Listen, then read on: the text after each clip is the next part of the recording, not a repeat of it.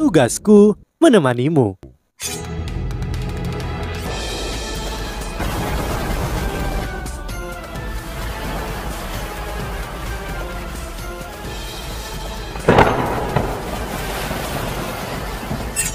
Hai sahabat pasuk, kembali lagi bersama alur cerita versi novel Solen 2 Sekte yang tak tertandingi. Jangan lupa like, subscribe, dan nyalakan tanda lonceng. Mari kita lanjutkan. Enam Isru Jiwa lainnya tidak dapat dibandingkan dengan Yeyuli dalam hal status di dunia Isru Jiwa.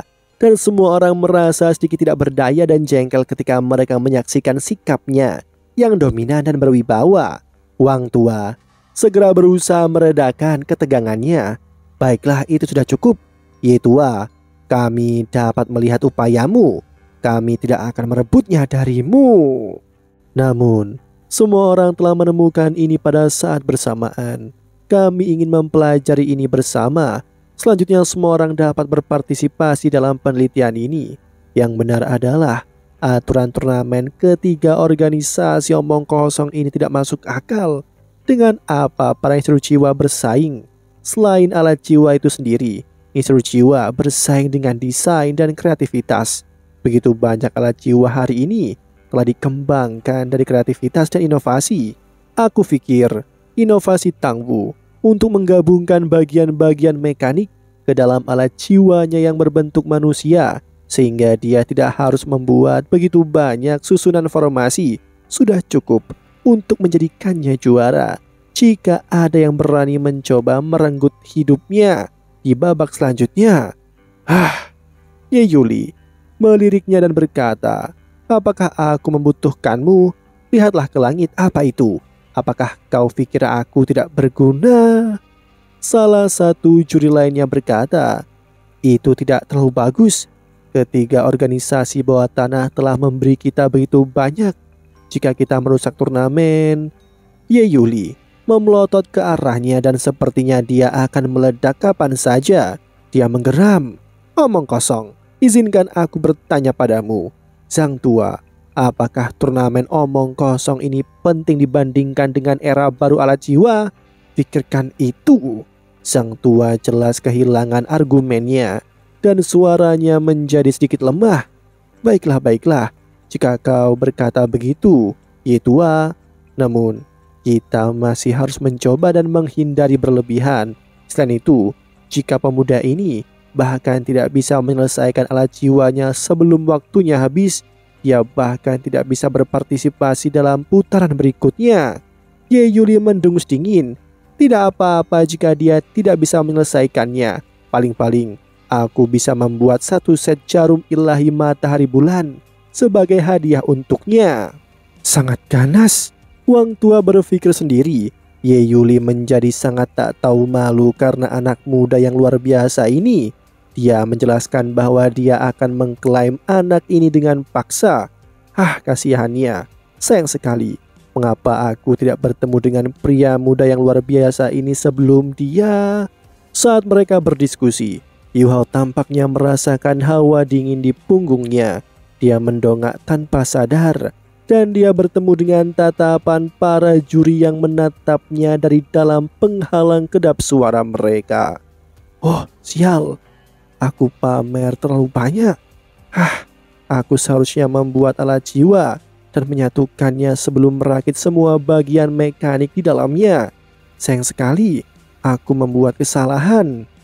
Ah, baiklah lupakan saja. Aku hanya akan bermain dengan mereka sebentar.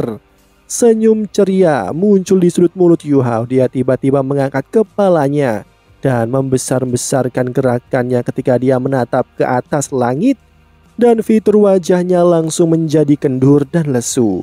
Para juri telah memusatkan perhatian mereka kepadanya sepanjang waktu ini dan mereka semua terkejut dengan perubahan ekspresinya yang tiba-tiba. Setiap instru jiwa akan memiliki reaksi yang sama pada saat seperti ini, tidak peduli di kelas apa mereka berada, dan mereka mengikuti mata Yuhao ke langit. Tetapi mereka dengan cepat menyadari bahwa Yuhao menatap ke dalam kegelapan, di mana tidak ada apa pun. Apa? Yang tidak mereka ketahui adalah bahwa ketika mata mereka beralih, seberkas cahaya menembus diam-diam melalui lapisan kedap suara dan tanpa suara memasuki bagian belakang kepala Yu Hao. Kali ini tubuh Yu Hao benar-benar bergetar ketika mata para juri kembali ke wajahnya mereka melihat bahwa Yu Hao memiliki pandangan pencerahan dan dia dengan cepat menundukkan kepalanya dan terus menyatukan bagian mekanisnya. Wang tua menghela nafas kagum. Orang ini sangat menakutkan. Sebenarnya aku pikir dia melihat sesuatu, tetapi ternyata dia baru saja memikirkan beberapa teka-teki. Pengungkapan tiba-tiba untuk seseorang yang berbakat pasti cukup bagus. Lihat-lihat, dia sedang mengerjakan susunan formasinya sekarang. Oh, pisau pahatnya cantik. Apakah itu salah satu pisau pahat berperingkat? Yuha mulai membuat susunan formasi. Pisau pahat di tangannya adalah pisau aneh yang berwarna benar-benar hijau dan dipenuhi dengan energi kehidupan. Ya, avatar spiritual Yu Hao yang terpisah akhirnya menyatu kembali. Yu Hao langsung merasakan semua kelemahan mentalnya menghilang. Ia bahkan merasa seolah-olah sesuatu menjadi lebih murni di dalam dirinya pada saat ini. Ini luar biasa. Yoha menghela nafas. Pada saat yang sama pisau penjaga kehidupan yang baru saja kembali kepadanya mulai menari di telapak tangannya. Avatar spiritual Yuhao telah membantu ketiga gadis itu menyelesaikan operasi mereka dan dia telah membantu melakukan beberapa hal lain sebelum mereka pergi untuk bertemu dengan Susansi dan Jiang Nanan. Yuho mengatakan kepada mereka untuk kembali ke Hotel Mingyue dan membawa BB ke pinggiran barat sebelum dia segera berpisah dari semua orang dan avatar spiritualnya bergegas kembali ke tubuh utamanya secepat mungkin. Wang Donger adalah orang yang telah menembakkan dua sinyal sebelumnya. Ketika mereka meninggalkan gudang bawah tanah, senyum tipis bergetar di wajah Yu Hao. Dia benar-benar ingin tertawa sekarang. Senyumnya penuh kepuasan. Kita mendapatkan banyak keuntungan hari ini. Kali ini, Kekaisaran Ryu telah memberiku hadiah besar dan aku telah memberi mereka juga dengan murah hati. Kedua hadiah ini seharusnya cukup untuk menunda rencana invasi mereka. Yuha merasa jauh lebih bersemangat saat memikirkan hal ini dan tangannya secara tidak sadar mulai bekerja dengan kecepatan penuh. Ketujuh juri itu setidaknya adalah Instruciwa kelas 8 dan masing-masing dari mereka memiliki mata yang lebar dan rahang yang kendur saat mereka menatap Yu Hao. Gerakan Yu Hao sedikit melambat tetapi setelah pencerahannya, ia mulai bekerja pada susunan formasi dengan sangat cepat. Seolah-olah ia telah disuntik dengan adrenalin. Logam langka pertama yang dia gunakan adalah logam khusus yang dikenal sebagai berlian esensi emas. Logam langka ini jarang digunakan karena terlalu mahal dan mewah, tetapi karakteristiknya sangat mengesankan. Berlian esensi emas adalah konduktor kekuatan jiwa yang sangat baik. Itu dapat memperkuat gelombang kekuatan jiwa. Ada alat jiwa khusus yang dikenal sebagai penguat kekuatan jiwa dan berlian esensi emas adalah yang paling penting dalam menyusunnya. Penguat kekuatan jiwa hanya bisa diselesaikan menggunakan berlian esensi emas untuk membuat susunan formasi. Penguat kekuatan jiwa tidak memiliki kelas, tetapi alat jiwa apa pun yang menggunakannya akan ditingkatkan satu kelas dengan pengecualian alat jiwa kelas 9. Hanya aliansi musuh yang memberikan kepada perwakilan mereka di antara mereka hanya meja kerajinan Yu Hao yang memiliki sepotong berlian esensi emas sebesar kepalan tangan bayi. Ini adalah perhatian Nanggung Wan terhadap Yu Hao karena Ye Yuli bukan satu-satunya orang yang ingin mengambil Yu Hao sebagai muridnya. Masih ada master dari aliansi Muswe. Berlian esensi emas sangat keras sehingga bahkan instruksi kelas 9 akan sangat sulit untuk mengukir dan memahatnya. Tapi pisau pahat hijau Yu Hao berputar-putar ketika para juri mengawasi dan pisau itu memotong berlian esensi emas dengan mudah sampai debu dan partikel terbang ke segala arah. Itu dengan cepat terbentuk Pisau pahatnya sepertinya bukanlah pisau pahat berperingkat. Salah satu juri kelas 8 bergumam dengan percaya diri.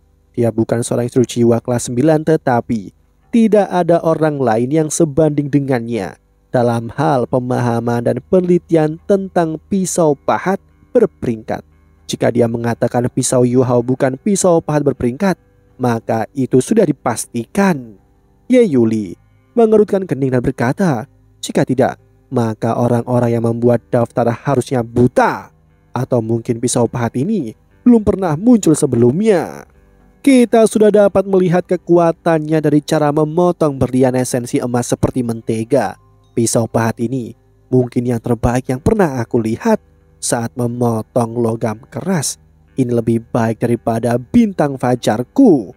Wang tua mengangguk dengan tulus dan berkata, itu benar. Aku pikir orang ini bahkan tidak menggunakan kekuatan jiwa. Jadi pasti ada sesuatu yang aneh dengan pisaunya. Dan itu bukan hanya karena sangat tajam. Aku menduga pisau pati ini sendiri membawa beberapa karakteristik khusus yang membuatnya sangat baik dalam memotong. Tetapi karakteristik ini mungkin sedikit terlalu kuat. Ye Yuli berkata, mungkinkah itu sesuatu yang aliansi Muswe keluarkan untuk dia gunakan? aku menjadi jauh lebih percaya diri pada anak ini. Penatu Azang tertawa dan berkata, Benar, aliansi Muswe sangat lihai. Mereka bersedia memberi berlian esensi emas untuk dia gunakan. Tidak sulit membayangkan berapa banyak penekanan yang mereka berikan pada pemuda ini. Dan akan aneh jika Anda atau mereka tidak percaya padanya. Ye Yuli tersenyum dan berkata, Lalu kita akan dengan sabar menunggu pemuda ini untuk menyelesaikan alat jiwanya yang berbentuk manusia. Dia sudah menjadi juara hari ini di hatiku. Pupilnya tiba-tiba melebar ketika dia mengucapkan kata-kata ini. Dan dia berseru dengan terkejut. Hah, betapa seorang jenius. Dia sudah selesai dengan susunan formasi pertamanya. Yu Hao mulai mengerjakan susunan formasi keduanya setelah itu. Dia mengukir serta memahat dengan cepat. Debu dan partikel logam terbang ke segala arah sekali lagi. Kecepatannya saat ini lebih cepat daripada ketika dia membuat komponen-komponen luar dan tangannya mulai meninggalkan bayangan.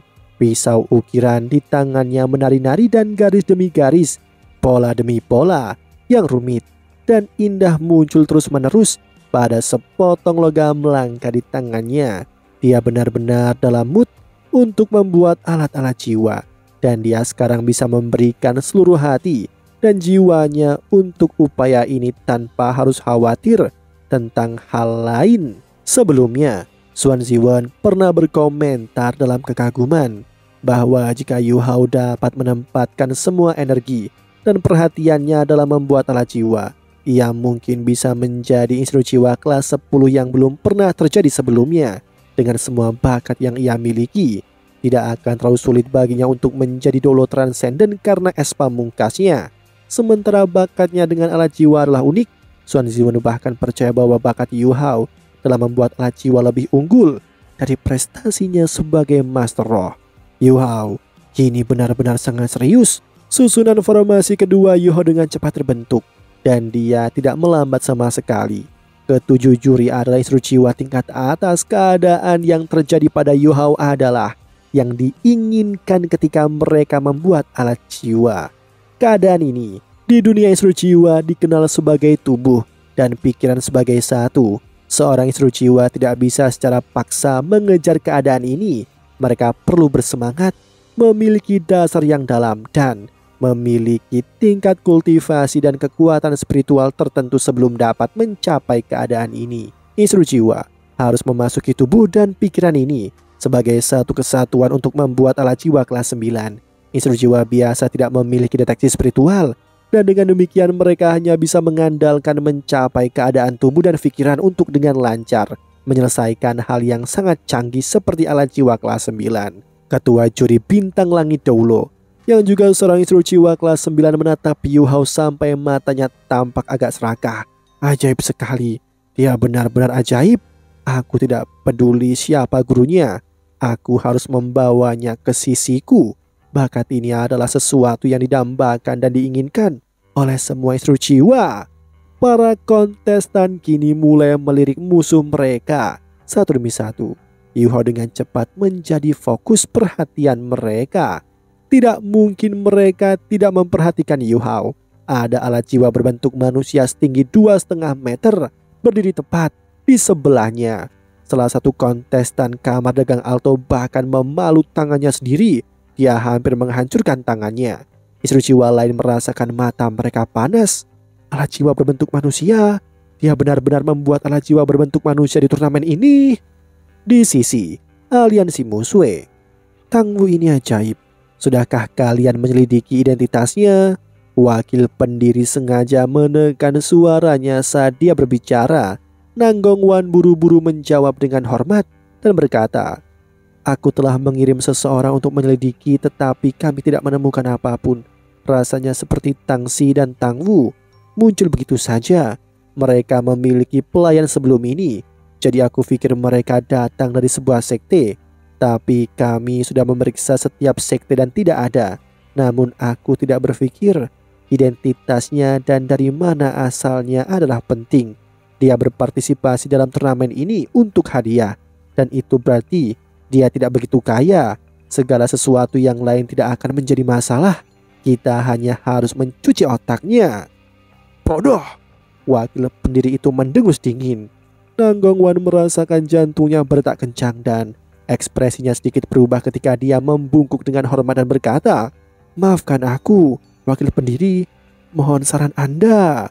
Wakil pendiri menjelaskan dengan dingin, dia adalah seorang istri jiwa, bukan seorang master jiwa. Hal-hal yang harus dia lakukan memerlukan kreativitas inovasi. Jika kita mencuci otaknya, ingatannya akan sangat memburuk. Lebih mudah bagi master jiwa karena kita dapat membimbing mereka dan melatih mereka sehingga mendapatkan kembali ingatan di bawah kendali kita. Tetapi bisakah dia mendapatkan kembali ingatannya tentang proses yang sehalus dan serumit alat-alat jiwa kita harus fokus menariknya ke pihak kita tanpa mencuci otaknya. Nanggong Wan buru-buru menunduk. Ya, kami telah mengambil peluru meriam jiwa stasioner kelas 9 untuk mengikatnya. Yang ingin aku katakan adalah, jika dia tidak ingin menyerah, kita dapat mempertimbangkan untuk mencuci otak jika kita tidak punya pilihan lain. Baik, jangan biarkan dia meninggalkan pandangan kita setelah turnamen ini. Wakil pendiri terus mengajarinya dengan suara dingin. Sepertinya dia tidak ingin melepaskan Tang Wu yang alias Yu Hao. Di kota cahaya, bayangan terbang melintas ketika mereka turun dari langit ke halaman di samping Akademi Teknik Kekaisaran Ryu. Masalah di istana kekaisaran telah diselesaikan, sehingga instruksiwa tingkat tinggi yang bertanggung jawab untuk menjaga gudang penting bergegas kembali secepat mungkin mereka menjaga tempat yang penting secara strategis dan mereka akan berada dalam masalah besar jika sesuatu terjadi. Ada delapan instruksiwa tingkat tinggi yang berjaga di sini. Pemimpin mereka adalah seorang lelaki tua yang tinggi. Dia tidak mendukung Sutian Ran, meskipun Sutian Ran telah bekerja keras untuk mencoba membawanya ke sisinya. Nama pria ini adalah Su Guozong, tapi dia tidak loyal sama sekali. Dia besar dalam untung dan uang, dia telah membantu kaisar saat ini merebut tahta bertahun-tahun yang lalu dan mendapatkan obat-obatan yang banyak dan yang lainnya sebagai gantinya yang merupakan cara dia mencapai peringkat budidayanya saat ini. Mereka hanya menjaga gudang, tetapi penjaga ini diperlakukan dengan sangat baik. Kuncinya adalah otoritas mereka. Hanya kaisar sendiri yang bisa menyentuh logam dan peralatan langka di gudang ini. Tidak ada orang lain bahkan putra mahkota tidak memiliki otoritas itu. Dia memegang kendali penuh atas semua yang ada di gudang ini. Su Guozong sendiri masih seorang pangeran. Dia dihormati, memiliki status dan pengaruh. Dia juga seorang instruksiwa kelas 9. Su Guozong adalah salah satu karakter besar kekaisaran Ryu. Su Tianran selalu berusaha mengikatnya tetapi Su Guozong tidak pernah mengkonfirmasi sikap dan posisinya karena dia masih mengharapkan keuntungan dan manfaat yang lebih baik pada akhirnya, Su Tianran masih membutuhkan Su Guozong, bahkan setelah ia naik tahta karena otoritas dan pengaruh Su Guozong di kekaisaran. Li Cheng adalah manajernya dan dia sesekali menyelundupkan beberapa logam langka keluar dari gudang. Namun dia hanya bisa mengambil dari lantai pertama dan Su Guozong sangat jelas tentang segala sesuatu di dua lantai lainnya. Su Guozong pergi ke istana kekaisaran untuk memeriksanya, dan kemudian bergegas kembali ketika mereka menyadari bahwa semuanya baik-baik saja. Ini adalah pertama kalinya dia melihat begitu banyak Feng Hao dulu. Betapa menakutkannya. Situasi di kota cahaya menjadi begitu kabur dan buram. Jadi dia bergegas kembali sesegera mungkin karena dia khawatir dengan keselamatan gudang. Dan juga tentang keselamatannya. Di mana lagi? yang lebih aman daripada gudangnya yang 100 meter di bawah tanah. Di mana Li Chong? Mereka berjalan ke halaman dan memperhatikan bahwa semuanya tampak normal. Su Guozong merasa sedikit lebih yakin saat dia masuk. Di tempat ini, dia adalah satu-satunya yang memiliki kunci untuk lantai 2 dan 3. Tidak ada orang lain yang memilikinya. Tidak ada yang bisa menggelapkan apa pun, bahkan jika mereka mau.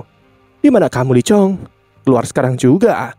Su Guozong merasa tidak enak ketika dia menyadari bahwa Li Chong tidak keluar untuk menyambutnya begitu dia masuk. Dia tiba-tiba merasakan ada sesuatu yang salah.